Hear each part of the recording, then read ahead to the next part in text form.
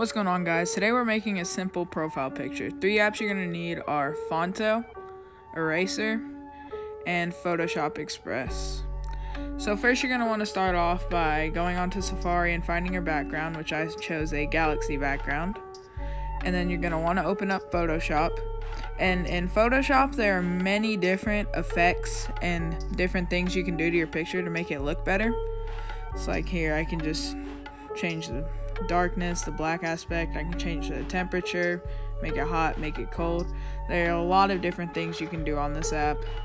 It's pretty great, and then also you can transfer it over to Photoshop on the computer. So I already edited mine, and here's what it looks like. So now you're gonna open up Phonto. You're gonna click on the camera icon and pull up the the circle or your background. So you have it right here and there's still a white background on it. So you're gonna pull up eraser, you're gonna pull up your photo, hit erase, and then you're just gonna erase all that white little outlining on the outside. There are different ways you can do it. I'm just doing the easiest way. So you can just erase all the white outline on there. And then you're gonna go ahead and save it. And then you're gonna head back to Phonto. And you're gonna pull up your cut image now with no white background on it. See, there it is. And now you're gonna wanna get a uh, white circle. So like, you'll see what I mean here in a minute. So just like a little circle cut out. And you're gonna wanna, it's already aligned in the middle once you pull it up in Phonto. So you're just gonna wanna size it up however you want. And then you're gonna go to Safari.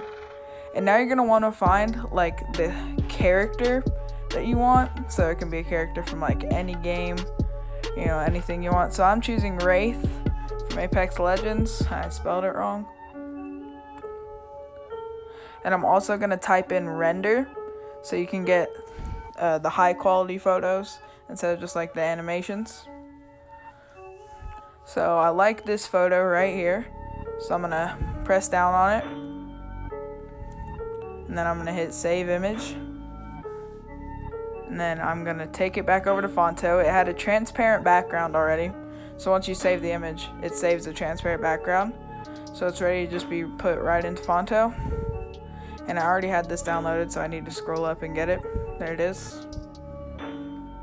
So now you're gonna wanna size it up, however big you want it to be. And there's a cool little effect I want to do. So what I'm gonna do is I'm gonna make the white circle the top layer on it and you do that just by uh, pressing down on it and putting it over the wraith.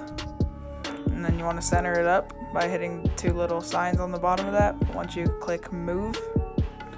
So then you're just going to adjust you know the size of your character the position and everything you want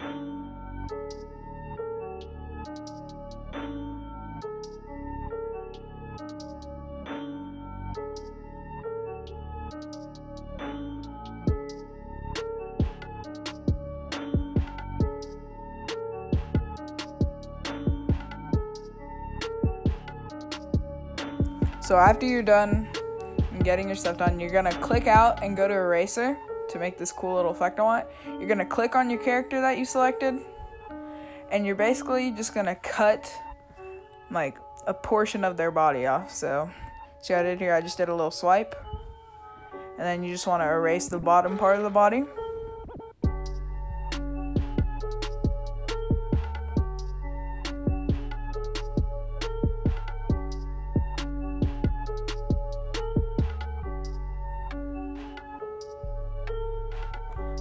Save it. And you're gonna head back to Phonto. You're gonna pull up that little cutoff section of your character. And then basically you're gonna size it up with um, the character in the photo on Phonto. This is the way to create that cool effect while also having not as much technology as like a computer because we're doing this all on iOS. So I'm just gonna sit here and mess around with it until it looks good.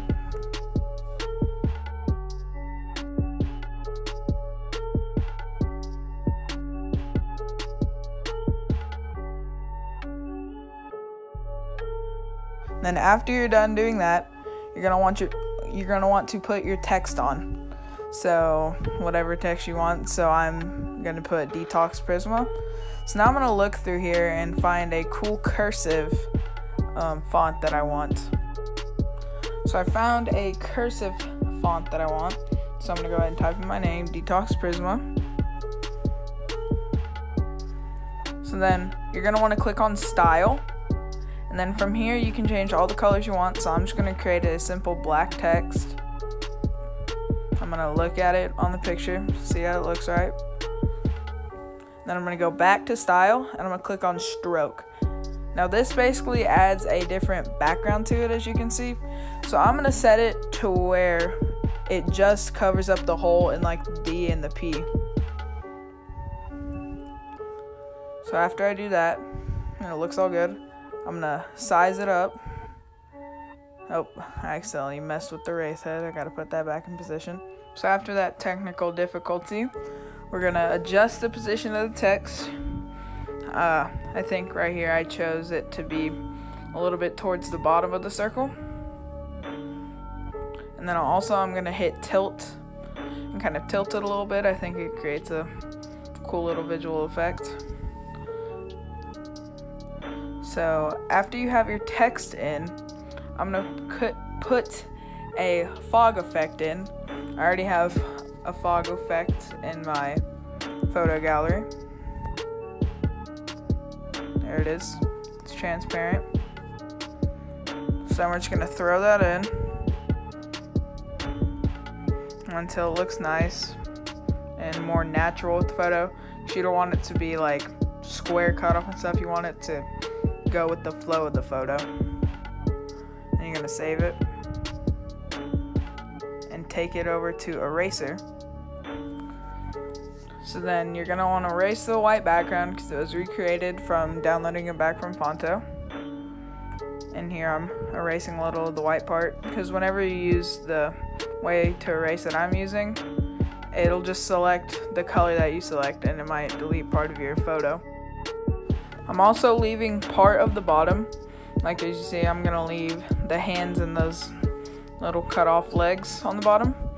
I'm gonna save it just in case the circle doesn't line up right with the profile pic. And then you're gonna go over to Twitter or Instagram or wherever you're gonna use this profile picture. And then you're gonna test it you see how it works, which it was a perfect fit for me.